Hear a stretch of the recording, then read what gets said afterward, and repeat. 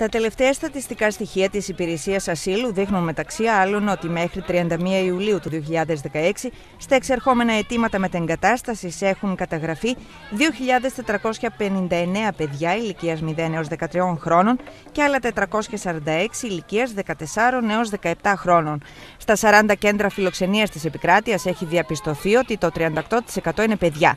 Μέχρι να προωθηθούν στις ευρωπαϊκές χώρες της επιλογής των οικογενειών τους, τα παιδιά αυτά πρέπει να πάνε σχολείο. Στην πολύμηνη παραμονή τους στην Ελλάδα, στην ειδωμένη αρχικά τα περισσότερα και αργότερα στα κέντρα φιλοξενίας, απασχολήθηκαν δημιουργικά από μέλη μη κυβερνητικών οργανώσεων και εθελοντές, Έλληνες και ξένους. Καλημέρα. Ένα, δύο, τρία.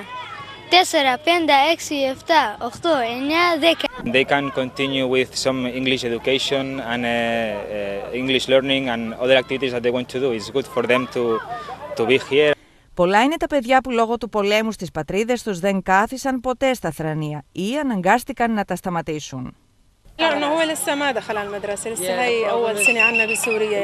Η Μινέλ στη Συρία ήταν δασκάλα. Εκπαιδευτική είναι και πολλοί ακόμη πρόσφυγες. Στην αναζήτηση αυτών είναι τα συναρμόδια υπουργεία και αυτό γιατί θα μπορέσουν να συμβάλλουν στη διδασκαλία των παιδιών προσχολική ηλικίας, τα οποία όπως προγραμματίζει το Υπουργείο Παιδείας θα διδαχθούν γράμματα εντός των κέντρων φιλοξενίας. Η προσχολική εκπαίδευση θα γίνει για ευνόητους λόγους μέσα στα κέντρα φιλοξενίας. Εδώ υπάρχει βέβαια ένα θέμα με τις υποδομές οι οποίες ε, είναι από κακές, δηλαδή μιλάμε για σκηνές, το χειμώνα τώρα πώς θα γίνει η προσχολική αγωγή, μάθημα ε, μέσα σε σκηνές, δεν υπάρχει θέρμανση. Ε, αλλά η πρόταση είναι ότι θα μπουν κοντέινερ μέσα σε αυτούς τους καταβλισμούς για να μπορέσουν τα παιδάκια, τα νήπια προσχολικής ηλικίας να φοιτήσουν εκεί. Για ευνόητους λόγους λέω γιατί ε, ε, πολύ δύσκολα οι γονείς θα αφήσουν τα μικρά παιδιά να πάνε σε σχολεία εκτός καταβλισμού. Τα παιδιά από 6 έως 15 χρόνων θα παρακολουθούν απογευματινά μαθήματα σε σχολικά συγκροτήματα που είναι σε μικρή απόσταση από τα κέντρα φιλοξενίας που διαμένουν και θα οριστούν άμεσα από το Υπουργείο. Η πρόταση είναι να γίνουν τάξη υποδοχής όπου θα φοιτήσουν πολύ λίγα παιδιά προσφύγων στα σχολεία αυτά, κυρίως παιδιά που μέσα στο καλοκαίρι μάθαν στοιχεία ελληνικών. Ε, τα περισσότερα παιδιά θα πάνε σε απογευματινή ε, φάση για να φοιτήσουν. Τα περισσότερα από αυτά. Επομένως, ε, οι περισσότεροι εκπαιδευτικοί που θα προβληθούν θα δουλεύουν απόγευμα με αυτά τα παιδιά.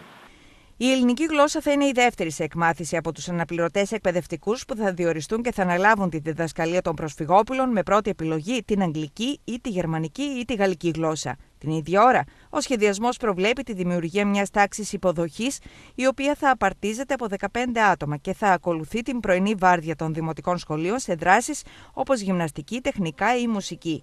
Όσο για τους μαθητές ηλικίας 15 έως 17 χρόνων υπάρχει κατεύθυνση να ενταχθούν στα τεχνικά λύκεια. Το πρόγραμμα θα περιλαμβάνει εκμάθηση ελληνικών ως δεύτερη, ως γλώσσα. δεύτερη γλώσσα ε, και οπωσδήποτε μία ξένη γλώσσα που θα επιλέξουν οι γονείς. Δεδομένου ότι στο μέλλον αρκετοί από αυτούς έχουν δηλώσει ότι θέλουν να ε, μεταβούν σε μια άλλη ευρωπαϊκή χώρα. Οι ανεπαρκείς υποδομές σχολικών συγκροτημάτων επιβάλλουν τη λειτουργία της απογευματινής βάρδιας με τη χρονιά 2016-17 να χαρακτηρίζεται ως μεταβατική περίοδος για όλους τους εμπλεκόμενους. Δεν θέλουμε να προκαταλάβουμε τις τοπικές κοινωνίες με παρουσία αστυνομικών κτλ. Εάν χρειαστεί βέβαια η αστυνομία θα προσκληθεί. Ε, όσον αφορά το θέμα της ασφάλειας ε, θα γίνει μια συνέργεια με τους ε, Δήμους όπου τα έχουν στη δικιά τους περιφέρεια τα σχολεία αυτά, ώστε μέσα από το πρόγραμμα του ΕΕΔ και την πρόσληψη ε, ατόμων με οκτάμινη σύμβαση να μπουν σχολικοί φύλακες και τα απογεύματα σε αυτά τα σχολεία. Ο Γενικός Γραμματέας μας είπε ότι ε, βρέθηκε χρηματοδότηση μέσω ευρωπαϊκών κονδυλίων για την πρόσληψη αναπληρωτών που θα δουλέψουν ε, και στους καταβλισμούς και στα σχολεία υποδοχής αυτών των παιδιών των προσφύγων.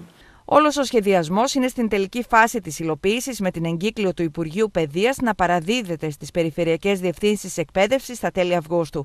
Διδασκαλία και ψυχοκοινωνική υποστήριξη είναι δύο δεδομένα που αποτελούν προτεραιότητα για τα συναρμόδια Υπουργεία και όλους τους εμπλεκόμενους, γιατί το μακρύ ταξίδι που βίωσαν τα παιδιά, με ό,τι αυτό συνεπάγεται, αποτυπώνεται πρωταγωνιστή σε ζωγραφιές τους.